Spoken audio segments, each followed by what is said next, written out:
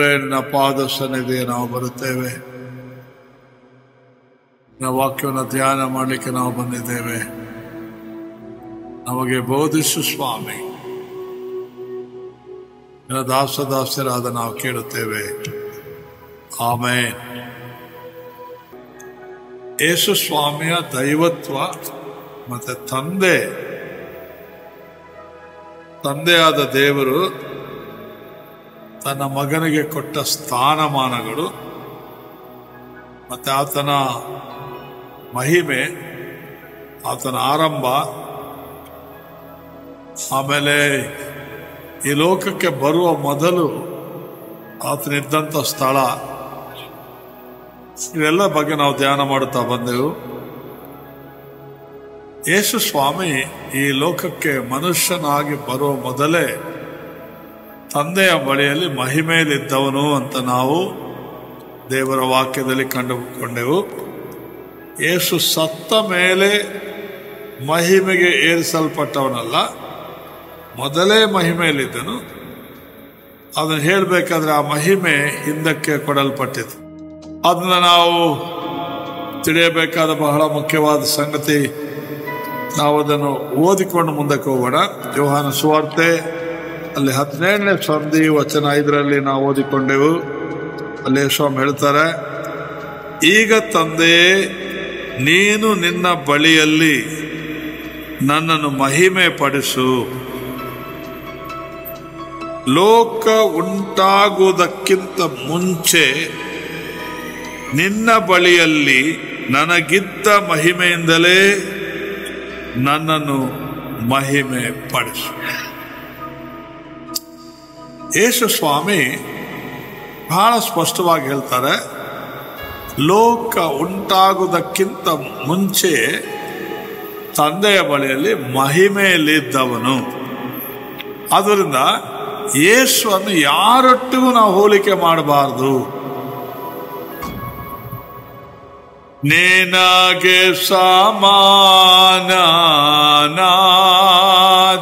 ದೇವರು ಯಾರು ಇಲ್ಲವೋ? ನಿಲ್ಲಾಲೋಚನೆ ಆತ್ಮನ ಪ್ರೇರಣೆ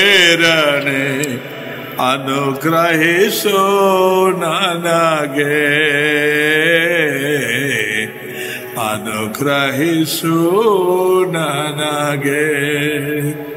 ಅಂದ್ರೆ ಆತನಿಗೆ ಸಮಾನನಾದ ಇನ್ನೊಬ್ಬ ವ್ಯಕ್ತಿ ಇಲ್ಲ. ತಂದೆ ಎಲ್ಲದಕ್ಕಿಂತ ದೊಡ್ಡವನು. ಯೇಸು ಹೇಳ್ತಾನೆ, ನನ್ನ ತಂದೆ ನನಗಿಂತ ದೊಡ್ಡವನು. ಇದನ್ನ ಎಲ್ಲಿ ನೋಡ್ತೇವೆ ಅಂದ್ರೆ ಯೋಹಾನ ಸುವಾರ್ತೆ ಹತ್ತನೇ ಸಂಧಿ ಇಲ್ಲಿ ಹತ್ತು ಇಪ್ಪತ್ತೇಳರಲ್ಲಿ ನಾವು ಓದ್ತೇವೆ. ಅಲ್ಲೇನು ಹೇಳ್ತಾನೆ, ಇಲ್ಲಿ ಕನ್ನಡದಲ್ಲಿ ಭಾಷಾಂತರ ಸ್ವಲ್ಪ ರಾಂಗ್ ಆಗಿದೆ. My father which gave them to me, is greater than all ಅಂತ ಹೇಳ್ತಾರೆ. ಅದನ್ನು ಇಲ್ಲಿ ನನ್ನ ತಂದೆ ಈ ಕುರಿಗಳನ್ನು ನನಗೆ ಕೊಟ್ಟಿದ್ದಾನೆ ಇದರ ಭಾಷಾಂತರ ಹಿಂಗಿದೆ? ನನ್ನ ತಂದೆ ಈ ಕುರಿಗಳನ್ನು ನನಗೆ ಕೊಟ್ಟಿದ್ದಾನೆ ಕೊಟ್ಟಾತನು ಎಲ್ಲದಕ್ಕಿಂತ ದೊಡ್ಡವನು. ನನಗಿಂತಲೂ ಬೇರೆಲ್ಲದಕ್ಕಿಂತ ದೊಡ್ಡವನು ಯಾರು? ನನ್ನ ತಂದೆ ಅಂತ ಹೇಳ್ತಾರೆ ಅಷ್ಟೇ.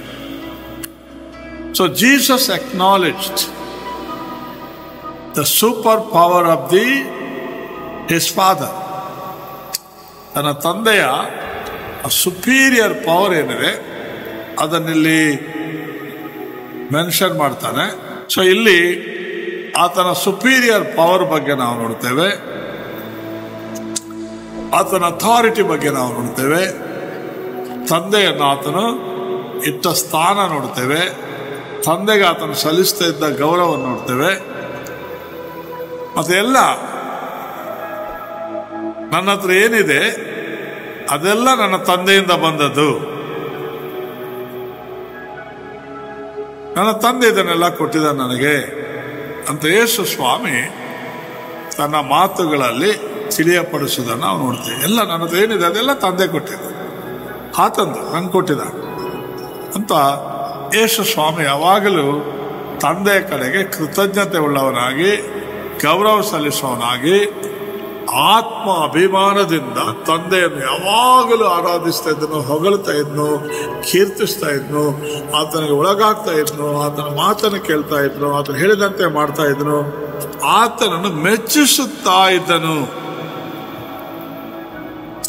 ಈಗ ಅದೇ ತಂದೆ, ಅದೇ ತಂದೆಯಾದ ದೇವರು ಪಾಪಿಗಳಾದ ನಮ್ಮನ್ನು ಪ್ರೀತಿಸಿದನು.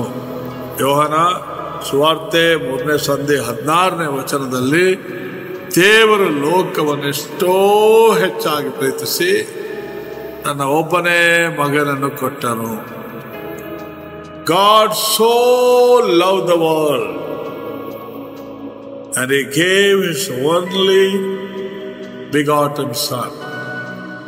ತನ್ನ ಒಬ್ಬನೇ ಮಗನನ್ನು ಕೊಟ್ಟ ಆತ ನಮ್ಮ ಒಬ್ಬನಾದರೂ ನಾಶವಾಗದೆ ಎಲ್ಲರೂ ನಿತ್ಯ ಜೀವವನ್ನು ಪಡೆಯಬೇಕೆಂದು ಆತನು ಕೊಟ್ಟ ಅದೇ ದೇವರು ಪ್ರೀತಿಸಿ ನಮ್ಮನ್ನು ಪ್ರೀತಿಸಿ, ಪಾಪಿಗಳಾದ ನಮ್ಮನ್ನು ಪ್ರೀತಿಸಿ, ದ್ರೋಹಿಗಳು, ಕೆಡುಕರು ಲುಚ್ಚರು ಎಲ್ಲ ವಿಷಯದ ಕೆಟ್ಟದನದಲ್ಲಿ ಸಿಕ್ಕಿಕೊಂಡವು ಬಿಡಿಸಲಾರದೆ ನರಳುತ್ತಾ ಇದ್ದವು ನಮ್ಮನ್ನು ಪ್ರೀತಿಸಿ ತನ್ನ ಒಬ್ಬನೇ ಮಗನನ್ನು ಕೊಟ್ಟನು. ಆತನ ನಂಬುವ ನೋಡಿಲಿ ಗಮನ ಕೊಟ್ಟು ಕೇಳ್ರಿ, ಯೇಸುವನ್ನು ನಂಬುವ ಪ್ರತಿಯೊಬ್ಬನು ನಾಶವಾಗದೆ ಎಲ್ಲರೂ ನಿತ್ಯ ಜೀವನ ಪಡೆಯಬೇಕೆಂದು ಆತನನ್ನು ಕೊಟ್ಟನು. ಅಷ್ಟೇ ಅಲ್ಲ, ಆತನ ಪಾಪ ಪರಿಹಾರ ಯಜ್ಞವಾಗಿ ತನ್ನನ್ನು ಅರ್ಪಿಸಿಕೊಂಡ ಮೇಲೆ ಶಿಲುಬೆಯಲ್ಲಿ ಆ ಯೇಸುವಿನ ಮೂಲಕ ನಮ್ಮನ್ನು ರಕ್ಷಿಸಿ, ನಮ್ಮನ್ನು ಆತನ ರಕ್ತದಿಂದ ತೊಳೆದು, ನಮ್ಮನ್ನು ರಕ್ತದಿಂದ ಕೊಂಡುಕೊಂಡು ದೇವರಿಗಾಗಿ ನಮ್ಮನ್ನು ಕೊಂಡುಕೊಂಡನು. ಇದು ಬಹಳ ಸಲ ನಾವು ಓದ್- ಓದಿಕೊಂಡು ಬಂದ ವಚನ. ಪ್ರಕಟಣೆ ಐದನೇ ಸಂಧಿ ಒಂಬತ್ತನೇ ವಚನದಿಂದ. We are purchased by the lord by paying his own blood ತನ್ನ ಸ್ವಂತ ರಕ್ತವನ್ನು ಕೊಟ್ಟು ನಮ್ಮನ್ನು ಕೊಂಡುಕೊಂಡ. ಆದ್ರಿಂದ ಇಲ್ಲಿ ನಾವು ತಿಳಿಯಬೇಕಾದ ಬಹಳ ಮುಖ್ಯವಾದ ವಿಷಯ, ಕೊಂಡುಕೊಂಡದಷ್ಟಲ್ಲ, ಆ ತಂದೆಯಾದ ದೇವರು ನಮ್ಮನ್ನು, ನಮ್ಮ ಏಸು ದೇವರಿಗೆ, ಪ್ರಭುಗೆ ಸಹೋದರರು ಅನ್ನುವಷ್ಟರ ಮಟ್ಟಿಗೆ ಉದಾರತನವನ್ನು ತೋರಿಸಿದನು ಉದಾರತನ, ದೇವರ ಉದಾರತನ. ತನಗಿದ್ದೆಲ್ಲ ತನ್ನ ಮಗನಿಗೆ ಕೊಟ್ಟನು. ಕೊಟ್ಟ ಮೇಲೆ ನಮ್ಮನ್ನು, ಪಾಪಿಗಳಾದ ನಮ್ಮನ್ನು, ಆತನಾದರೂ ದೇವರೊಟ್ಟಿಗಿದ್ದವನು, ದೇವರ ಎದೆಯಲ್ಲಿ ಒರಗಿಕೊಂಡಿದ್ದವನು ಆತನು ಯಾವ ಪಾಪ ಮಾಡಲಿಲ್ಲ, ಯಾವ ತಪ್ಪು ಆತನಲ್ಲಿರಲಿಲ್ಲ ಯಾವ ಅಪರಾಧ ಆತನು ಮಾಡಲಿಲ್ಲ. He was the holy son of God ನಾವ್ಯಾರು? ಅಯ್ಯೋ, ಎಲ್ಲ ಯಾವ್ದು ಮಾಡಬಾರ್ದು, ಎಲ್ಲ ಮಾಡಿಬಿಟ್ಟಿದೆ ಅಂತ ನೀಚ ಪಾಪಿಗಳು ನಾವು. ಪೌಲನ್ ಹೇಳ್ತಾನೆ ಕ್ರಿಸ್ತ ಯೇಸು ಪಾಪಿಗಳನ್ನು ರಕ್ಷಿಸಿದಕ್ಕೋಸ್ಕರ ಈ ಲೋಕಕ್ಕೆ ಬಂದನೆಂಬ ಮಾತು ನಂಬತಕ್ಕದಾಗಿಯೂ ಸರ್ವಾಂಗೀಕಾರಕ್ಕೆ ಯೋಗ್ಯವಾದದ್ದಾಗಿಯೂ ಅದೇ. ಒಂದನೇ ತಿಮತಿ ಒಂದನೇ ಸಂಧಿ, ಅಲ್ಲಿ ಹದಿನೈದನೇ ವಚನಕ್ಕೆ ಬರುವಾಗ ಅಪೋಸ್ತಲನಾದ ಪೌಲನು ತಿಮೋತಿಗೆ ಬರೀತಾನೆ, ಒಂದನೇ ಸಂಧಿ ಹದಿನೈದನೇ ವಚನದಲ್ಲಿ ಕ್ರಿಸ್ತ ಯೇಸು ಪಾಪಿಗಳನ್ನು ರಕ್ಷಿಸುವುದಕ್ಕೋಸ್ಕರ ಈ ಲೋಕಕ್ಕೆ ಬಂದನು ಎಂಬ ವಾಕ್ಯವು ನಂಬತಕ್ಕದಾಗಿಯೂ ಸರ್ವಾಂಗೀಕಾರಕ್ಕೆ ಯೋಗ್ಯವಾದದಾಗಿಯೂ ಅದೇ. ಆ ಪಾಪಿಗಳಲ್ಲಿ ನಾನೇ ಮುಖ್ಯನು ಅಂತ ಹೇಳ್ತಾರೆ ಆದರೆ ಇನ್ನು ಮುಂದೆ ನಿತ್ಯ ಜೀವಕ್ಕಾಗಿ ತನ್ನ ಮೇಲೆ ನಂಬಿಕೆ ಇಡುವವರಿಗೆ ತನ್ನ ದೀರ್ಘ ಶಾಂತಿಯ ದೃಷ್ಟಾಂತವಿರಬೇಕೆಂದು ಕ್ರಿಸ್ತ ಯೇಸು ಮುಖ್ಯ ಪಾಪಿಯಾದ ನನ್ನನ್ನು ಕರುಣಿಸಿ ನನ್ನಲ್ಲಿ ತನ್ನ ಪೂರ್ಣ ದೀರ್ಘ ಶಾಂತಿಯನ್ನು ತೋರ್ಪಡಿಸಿದನು. ಸರ್ವಯುಗಗಳ ಅರಸನು, ನಿರ್ಲಯನು, ಅದೃಶ್ಯನು, ಅದೃಶ್ಯನಾಗಿರುವ ಏಕ ದೇವರಿಗೆ ಯುಗ ಯುಗಾಂತರಗಳಲ್ಲಿ ಮಾನ ಪ್ರಭಾವಗಳಿರಲಿ ಆಮೇನ್ ಅಂತ ಹೇಳ್ತಾರೆ. ಅದೃಶ್ಯನಾದ ದೇವರು, ಆ ದೇವರಿಗೆ ಮಾನ ಮಹಿಮೆ ಉಂಟಾಗಲಿ ಅಂತ ಹೇಳ್ತಾರೆ. ಆಮೇಲೆ ಅದ್ರ ಹೇಳ್ತಾರೆ, ನಾನು ದೂಷಕನು, ಹಿಂಸಕನು, ಬಲಾತ್ಕಾರಿಯಾಗಿದ್ದೆ. ದೂಷಣೆ ಮಾಡ್ತಾ ಇದ್ದೆ ದೇವರ ಬಗ್ಗೆ. ದೇವರ ನಂಬಿದವ್ರಿಗೆ ದೂಷಣೆ ಮಾಡ್ತಾ ಇದ್ದೆ ಬಲಾತ್ಕಾರ ಮಾಡ್ತಾ ಇದ್ದೆ ಹೋಗಿ ಸೆರೆಮನೆಗೆ ಆಗ್ತಾ ಇದ್ದೆ ಅವರ ಮರಣಕ್ಕೂ ನಾನು ಸಮ್ಮತಿ ಕೊಡ್ತಾ ಇದ್ದೆ ಅಂತ ಹೇಳ್ತಾ ಹೇಳಿದವನು ದೂಷಕನು, ಹಿಂಸಕನು, ಬಲತ್ಕಾರಿ, ಹಿಂಸೆ ಪಡಿಸೋನಾಗಿದ್ದೆ ಆದರೆ ಕ್ರಿಸ್ತೇಸು ಮುಖ್ಯ ಪಾಪಿಯಾದ ನನ್ನನ್ನು ರಕ್ಷಿಸಿದನು. ಇದರ ದೆಸೆಯಿಂದ ತಂದೆಯಾದ ದೇವರು ಉದಾರ ಮನಸ್ಸುಳ್ಳ ಮಹೋನ್ನತ ತಂದೆಯ ದೇವರು. ಯೇಸುವಿನ ತಂದೆಯು ದೇವರು ಆಗಿರುವ ಆತನು ಏನು ಮಾಡಿದಂದ್ರೆ ನಮ್ಮ ಮೇಲೆ ಪ್ರೀತಿ ಇಟ್ಟು ನಮ್ಮನ್ನು ಯೇಸುನೊಂದಿಗೆ ಸಹೋದರನನ್ನಾಗಿ ಮಾಡಿದ. ಅಷ್ಟೇ ಅಲ್ಲ, ಯೇಸು ಸ್ವಾಮಿ ನಮ್ಮನ್ನು ಸಹೋದರರನ್ನೋದಕ್ಕೆ ನಾಚಿಕೆ ಪಡಲಿಲ್ಲ ಅಂತ ಅಷ್ಟು ಮಹೋನ್ನತನಾದ ವ್ಯಕ್ತಿ ಯೇಸು ದೇವರ ಸ್ಥಾನಕ್ಕೆ ಏರಿಸಲ್ಪಟ್ಟವನು. ನಾವು ಕೊಳಕು ಪಾಪಿಗಳು, ನಮ್ಮನ್ನು ತಮ್ಮ ಅಂತ ಹೇಳಕ್ಕೆ ಇಷ್ಟ ಆಗುತ್ತಾ? ಒಬ್ಬ ಕುಡುಕ ದಾರಿಯಲ್ಲಿ ಕುಡಿದು ಬಿದ್ದಿರ್ತಾನೆ. ಅವನನ್ನ, ಇವನನ್ನ ತಮ್ಮ ಅಂತ ಹೋಗಿ ಹೇಳ್ತಾನೆ. ಏ, ನನ್ನ ಪುಷ್ಟೇಜ್ ಕಡೆ ಬಿದ್ದಿರ್ ಬಿಡು, ಸಾಯಲಿ ಬಿಡು ಅವನು. ನಾನು ಬುದ್ಧಿ ಹೇಳಿದೆ, ಏನು ಹೇಳಿದ ಪ್ರಯೋಜನ ಇಲ್ಲ. ನೀರಿನಲ್ಲಿ ಹೋಗ್ಬಿಟ್ಟಾಗ ಅವನಿಗೆ ಬುದ್ಧಿ ಹೇಳುದು ಸಾಯಲಿ ಬಿಡಂತ ತಾನು ಅವನ ಅಣ್ಣ ಅಂತ ಹೇಳ್ಕೊಳ್ಳೋಕೆ ಇಷ್ಟಪಡ. ಆದ್ರೆ ನೀಚ ಪಾಪಿಗಳು ನಾವು ಕ್ರಿಸ್ತನ ಪ್ರೀತಿಯ ನೋಡ್ರಿ, ತಂದೆಯಿಂದ ಬಂದ ಪ್ರೀತಿ ಅದು. ನಮ್ಮನ್ನು ಸಹೋದರರು ಅನ್ನೋದಕ್ಕೆ ಆತ ನಾಚಿಕೆ ಪಡಲಿಲ್ಲ. ಯೇಸು ಸ್ವಾಮಿಯ ಗುಣ. ಈ ಗುಣ ಕೂಡ ತಂದೆಯಿಂದಲೇ ಬಂದಿದೆ. ಇದರಲ್ಲಿ ನಾವು ಎಲ್ಲಾ ವಿಷಯಗಳು ತಿಳಿಯಬೇಕಾದ ಮಹಾ ಪ್ರಮುಖ ವಿಷಯ ತಂದೆ ಒಳ್ಳೆಯವರು. ಆಮೇಲೆ ಯೋಹಾನನ ಪತ್ರಿಕೆ ಬರೆಯುವಾಗ ನಾಲ್ಕನೇ ಸಂಧಿ, ಅಲ್ಲಿ ಆರನೇ ವಚನ, ಒಂದನೇ ಯೋಹಾನ ಪತ್ರಿಕೆಯಲ್ಲಿ ಅಲ್ಲಿ ಏನ್ ಹೇಳ್ತಾನಂದ್ರೆ, ಅಲ್ಲಿ ಹೇಳ್ತಾನೆ ನಾಲ್ಕನೇ ಸಂಧಿಯಲ್ಲಿ, ದೇವರು ಪ್ರೀತಿ ಸ್ವರೂಪಿ. ಇಂಗ್ಲಿಷ್ನಲ್ಲಿ ಬರೆದ್ರೆ ಗಾಡ್ ಇಸ್ ಲವ್ ಅಂತ. ಆಮೇಲೆ ಮುಂದೆ ಗಾಡ್ ಇಸ್ ಗುಡ್ ಅಂತ. ಒಳ್ಳೆಯವನು. ನಾವು ನೂರ ಏಳನೇ ಕೀರ್ತನೆಯಲ್ಲಿ ನಾವು ಅದನ್ನು ಓದ್ತೇವೆ. ಅಲ್ಲಿ ದೇವರು ಎಂತವನಂತ ಕೀರ್ತನೆಗಾರನ ಅನುಭವದಿಂದ ಬರೀತಾನೆ. ನೂರ, ಐ ಥಿಂಕ್ ಏಳನೇ ಕೀರ್ತನೆಯಲ್ಲಿ ಅಲ್ಲಿ ಹೇಳ್ತಾನೆ, ಯಹೋವನಿಗೆ ಕೃತಜ್ಞತಾ ಸ್ತುತಿ ಮಾಡಿರಿ. ಆತನು ಒಳ್ಳೆಯವನು, ಆತನ ಕೃಪೆಯು ಶಾಶ್ವತವಾಗಿರುವುದು ಅಂತ ಹೇಳ್ತಾರೆ ಒಳ್ಳೆಯವನು, ದೇವರು ಒಳ್ಳೆಯವನು. ಅವನ ಒಳ್ಳೆತನ ಯಾವುದರಲ್ಲಿ ಕಂಡು ಬರ್ತದೆ? ತನಗಿದ್ದದೆಲ್ಲವನ್ನು ತನ್ನ ಮಗನಿಗೆ ದಾನ ಎರೆದು ಕೊಟ್ಟರು ಆಮೇಲೆ ಆ ಮಗನ ಮೂಲಕ ರಕ್ಷಣೆ ಹೊಂದ ನಮ್ಮನ್ನು ಆತನ ಸಹೋದರರು ಅಂತ ನೇಮಕ ಮಾಡ. ಹೇಳಿರ್ಬೇಕು they are your brothers my son listen they are your brothers you have to accept them as your brother. I know them. The how they were wicked, cunning, cruel sinners. I know that.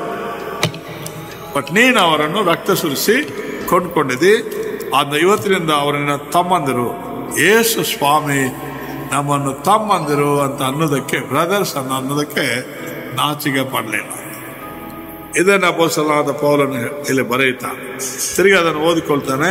ರೋಮಾಯರ ಪತ್ರಿಕೆ ಎಂಟನೇ ಸಂಧಿಯಲ್ಲಿ ಮೂವತ್ತ ಇಪ್ಪತ್ತ ಒಂಬತ್ತನೇ ವಚನದಲ್ಲಿ ಬರೆಯಲ್ಪಟ್ಟ ಮಾತನ್ನು ನಾವು ಈಗ ಓದಿಕೊಳ್ಳೋಣ. ಅಲ್ಲಿ ಏನು ಹೇಳ್ತಾನೆ? ದೇವರು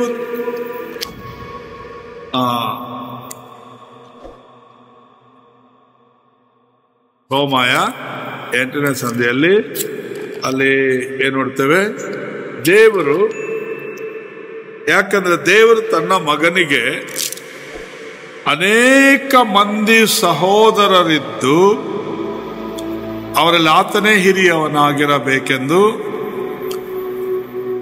ಆಗಿರಬೇಕೆಂದು ಉದ್ದೇಶಿಸಿ ಉದ್ದೇಶಿಸಿದಂತೆ ಇವರೆಲ್ಲ ಬ್ರದರ್ಸ್ ಆದರೂ ಯೇಸು ಹಿರಿಯ ಪ್ರಧಾನ ವ್ಯಕ್ತಿ. ಅದರಿಂದ ನಾವೊಂದು ಹಾಡಾಡ್ತಿದ್ದೇವೆ.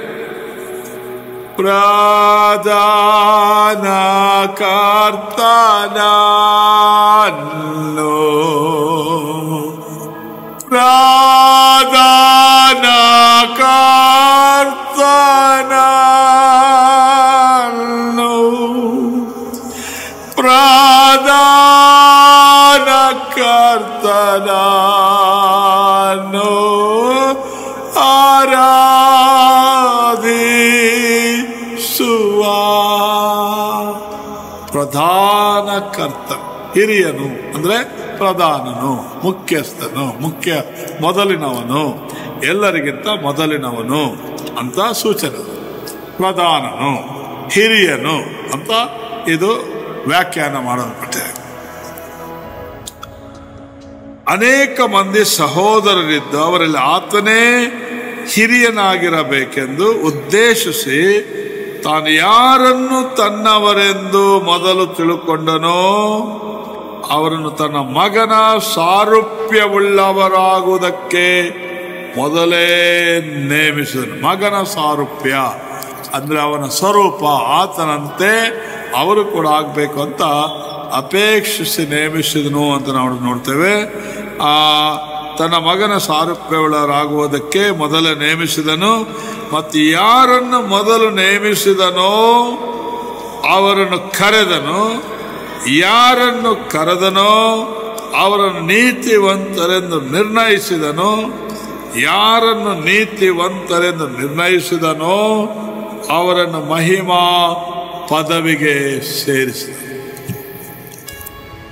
ದ ಲೋಯೆಸ್ಟ್ ಸ್ಟ್ಯಾಂಡರ್ಡ್ ಅವರು ಅವ್ರನ್ನ ತಗೊಂಡೋಗಿ ಉನ್ನತ ಸ್ಟ್ಯಾಂಡರ್ಡ್ ತಂದ. ತನ್ನ ಮಗನಿಗೆ ಸಹೋದರರು ತಮ್ಮಂದು ಆಗಬೇಕಂತ ಉದ್ದೇಶಿಸಿ ಆ ಸ್ಥಾನ ಮಹಿಮಾ ಪದವಿ ಅಂತಾರೆ ಇದನ್ನು ಮಹಿಮಾ ಪದವಿ ಸೇರಿಸಿದನು ಅಂತ ಇದು ಯಾರು ಮಾಡಿದ್ದು? ತಂದೆಯಾದ ದೇವರು. ತಂದೆಯಾದ ದೇವರು ಮಗನನ್ನು ಪ್ರೀತಿಸಿ ಹೇಗೆ ತಾನು ಅವನನ್ನು ಉನ್ನತ ಸ್ಥಾನಕ್ಕೆ ಏರಿಸಿದನು. ನಮ್ಮನ್ನು ಆ ಸ್ಥಾನ ನಾವು ಯಾವಾಗಲೂ ಯೋಚನೆ ಮಾಡಬಾರ್ದು, ಆ ಸ್ಥಾನ ಸ್ಥಾನಕ್ಕೆ ನಾವು ಸಮಾನರೆಂದು ತಿಳ್ಕೊಳ್ಬಾರ್ದು. ಅದು ಉನ್ನತೋನ್ನತ ಸ್ಥಾನ. ಆದರೆ ಇಲ್ಲಿ ದೇವರ ಪ್ರೀತಿ ಎಷ್ಟು ಮಟ್ಟಿಗೆ ಅಂದರೆ ಮಗನ ಸಾರೂಪ್ಯವುಳ್ಳವರಾಗಬೇಕು ನಾವು. ಮಾತ್ರವಲ್ಲ, ಮಹಿಮಾ ಪದವಿಯಲ್ಲಿ ಇರುವತಕ್ಕವರಾಗಿರಬೇಕು. ನಮ್ಮ ಪದವಿ, ನಮ್ಮ ಸ್ಟ್ಯಾಂಡರ್ಡ್ ಅದು ಮಹಿಮೆಯುಳ್ಳ ಪದವಿಯನ್ನು ಹೊಂದವರಾಗಬೇಕಂತ ದೇವರು ನಿಷ್ಕರ್ಷೆ ಮಾಡಿದ ತೀರ್ಮಾನಿಸಿದನು. And he made a decision and declared it by his great desire declare it in heaven ತನ್ನ ಸಿಂಹಾಸನದಲ್ಲಿ ಇದನ್ನು ಡಿಕ್ಲೇರ್ ಘೋಷಣೆ ಮಾಡಿದ್ನು. ಇವರೆಲ್ಲ ಯಾರ್ಯಾರು ಹೊಸದಾಗಿ ಹುಟ್ಟಿದಾರೋ, ಅವ್ರು ಸ್ತ್ರೀಯರಿರ್ಬೋದು, ಪುರುಷರಿರ್ಬೋದು ಹೊಸದಾಗಿ ಹುಟ್ಟಿದಾರೋ ಅವರು ಮಹಿಮಾ ಪದವಿಗೆ ಸೇರಬೇಕು. ಅವರ ಪದವಿ, ಈಗ ಅವರು ಈ ಲೋಕದಲ್ಲಿರುವಂಥ ಸಾಮಾನ್ಯ ಪದವಿದಾರರಲ್ಲ ಅವರು ಮಹಿಮಾ ಪದವಿಯುಳ್ಳವರು ಅಂತ ದೇವರಿದನ್ನು ನಿಷ್ಕರ್ಷ ಮಾಡೋದು ದೇವರು ತೀರ್ಮಾನಿಸಿದ್ರೆ, ದೇವರ ನೇಮಿಸಿದ್ರೆ, ದೇವರು ಡಿಕ್ಲೇರ್ ಮಾಡೋದು ಅದನ್ನು ಯಾರು ಎದುರಿಸೋನಿಲ್ಲ ಬದಲಾಯಿಸೋನು ಕೂಡ ಇಲ್ಲ. It is God who declared in heaven that these people must be must be received to the glorious position.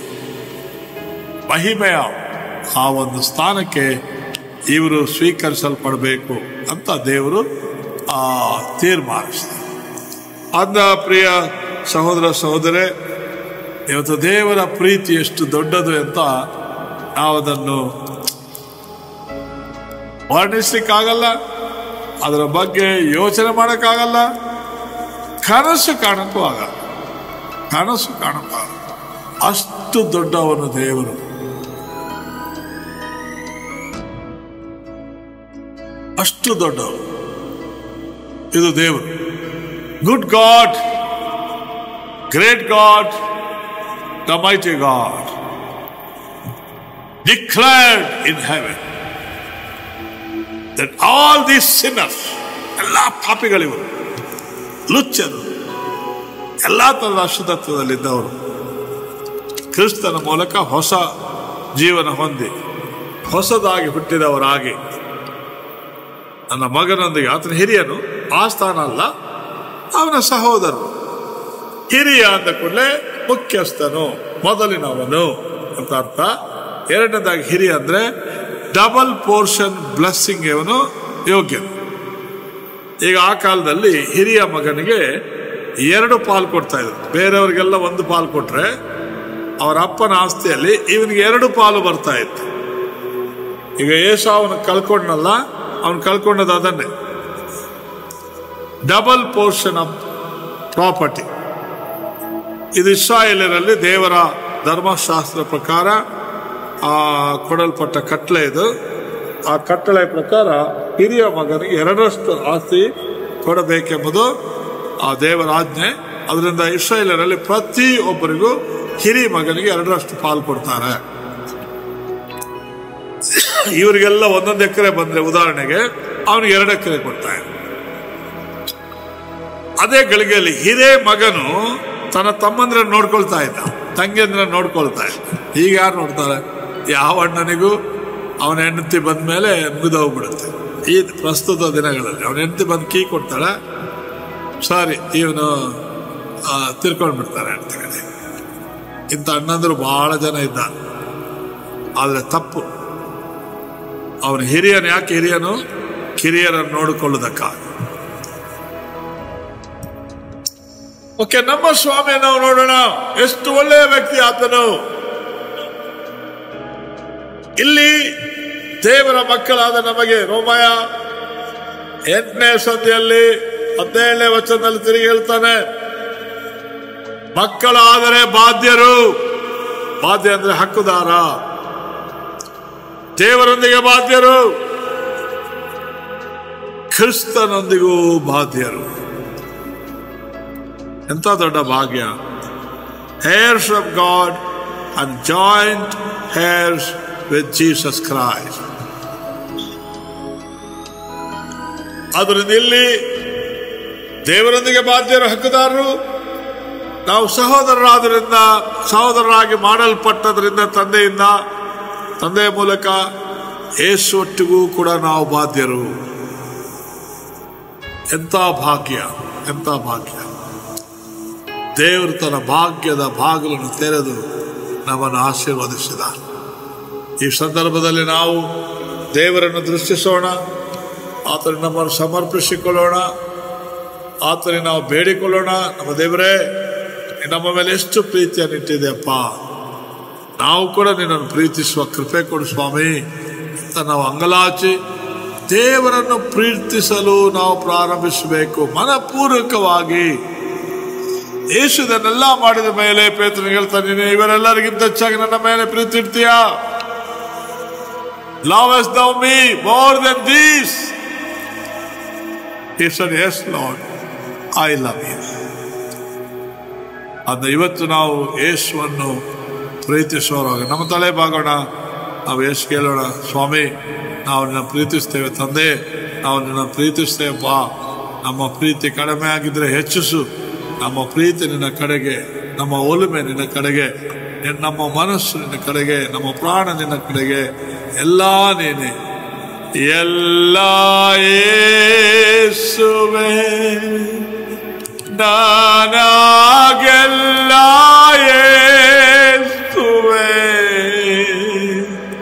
ದುರಿತ ಏರಿದ ಲೋಕವೆಲ್ಲ ಎಲ್ಲ ಯೇಸುವೆ ದುರಿತ ಏರಿದ ಲೋಕದಲ್ಲಿ ಎಲ್ಲ ಯೇಸುವೆ ಎಲ್ಲ ಯೇಸುವೆ ನಾನಾಗೆಲ್ಲ ಯೇಸುವೆ ತುರಿತ ಏರಿದ ಲೋಕದಲ್ಲಿ ಎಲ್ಲ ಯೇಸುವೆ ಪ್ರಾರ್ಥನೆ ಮಾಡೋಣ ತಂದೆ ಆ ದೇವ್ರೆ ನೀನ್ ನಮ್ಮ ಮೇಲೆ ಎಂತ ಮಮತೆ ಇಟ್ಟಿದೆಯಪ್ಪ? ಆ ಮಮತೆಯನ್ನು ನಾವು ಅಳೆದು, ಅದರ ಆಳ, ಉದ್ದ, ಅಗಲ ನಾವು ತಿಳಿಯಲಾರೆವು ನಿನ್ನ ಮಗಳು ನಮ್ಮ ಮೇಲಿಟ್ಟ ಪ್ರೀತಿ, ನಿನ್ನಿಂದ ಹೊಂದಿದ ಸಮಸ್ತ ನೊಂದೇಶ್ ನಮ್ಮ ಮೇಲಿಟ್ಟ ಪ್ರೀತಿ, ಯಥಾರ್ಥವಾದ ಪ್ರೀತಿ. ಕ್ರಿಸ್ತನ ಪ್ರೀತಿ ಆಳ, ಎತ್ತರ, ಅಗಲ, ಅದು ಗ್ರಹಿಕೆಗೆ ಮೀರಿದ್ದು ಅಂತ ಪಾಲನ್ನು ಬರೀತಾನೆ. ಯಾಕಂದ್ರೆ ನಿನ್ನ ಸ್ವರೂಪನಾಥನು ದೇವರ ಸರ್ವ ಸಂಪೂರ್ಣತೆ ಕ್ರಿಸ್ತನಲ್ಲಿ ಅವತರಿಸಿ ವಾಸ ಮಾಡುತ್ತದೆ ಅಂತ ನಾವು ವಾಕ್ಯದಲ್ಲಿ ಹೇಳಿಟ್ಟಿರಿ ಅದನ್ನು ನಾವು ನಂಬುತ್ತೇವೆ ಸ್ವಾಮಿ. ಇಂಥ ಒಬ್ಬ ಕ್ರಿಸ್ತರ ನಮಗೋಸ್ಕರ ಕೊಟ್ಟದಕ್ಕಾಗಿ ನಾವು ನನಗೆ ಸ್ತೋತ್ರ ಸಲ್ಲಿಸ್ತಾ, ಏಸು ಪಾದಲ್ಲಿ ನಾವು ಅಡ್ಡ ಬೀಳುತ್ತಾ, ತಂದೆ, ನಿನ್ನ ಘನವನ್ನು ಸಲ್ಲಿಸ್ತೇವೆ. ಆಮೇಲೆ ಕರ್ತನಾದೇಶ ಕೃಷ್ಣ ಕೃಪೆ, ದೇವರ ಪ್ರೀತಿ ಪರಿಶುದ್ಧ ಸದಾ ಸದಾಕಾಲ ನಮ್ಮಲ್ಲಿ ನೆಲೆಗೊಂಡಿರಲಿ. ಆಮೇಲೆ